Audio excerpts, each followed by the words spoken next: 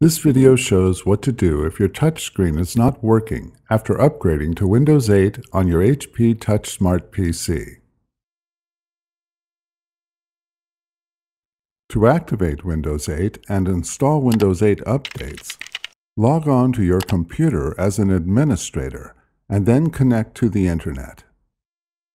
On the Windows Start screen, type Activate Windows to open the search charm. From the search results, select Activate Windows. Click the Enter key button in the Activate Windows screen. If you use disks to install Windows 8, you might find the product key on the disk packaging. If you bought Windows 8 over the Internet, the product key might have been included in an email you received after purchasing and downloading Windows 8. Type the product key into the product key field. Windows will automatically detect if the product key is valid.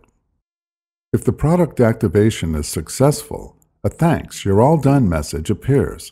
Click Close. Then restart the computer.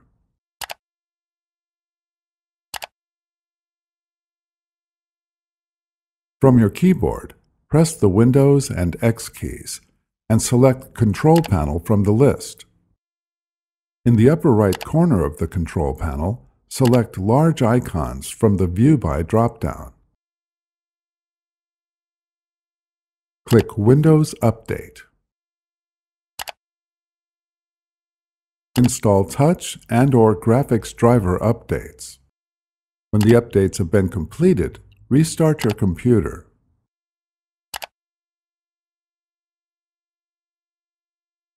If your touchscreen still is not working, check for driver updates at hp.com.